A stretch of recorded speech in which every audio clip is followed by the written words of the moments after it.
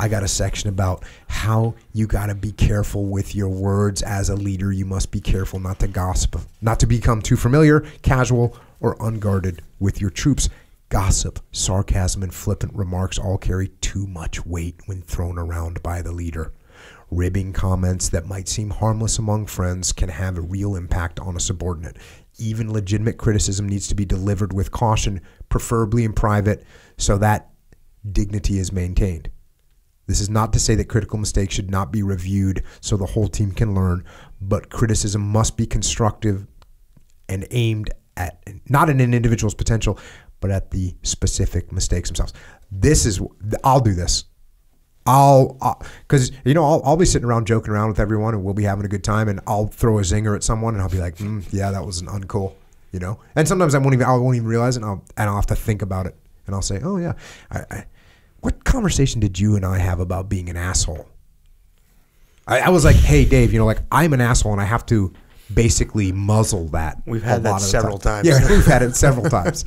And and you have thrown some zingers out where I've given you the look like, well, that was an asshole move right there. And I'm like, yeah, and you're like, yes, it was.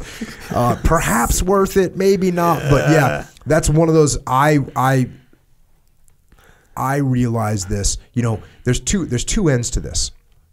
One end is when you're in a leadership position, you don't realize the weight of your compliments and you don't realize the weight of your criticisms. So you might not think saying, uh, "Hey Echo, that video looked great," you know, or whatever.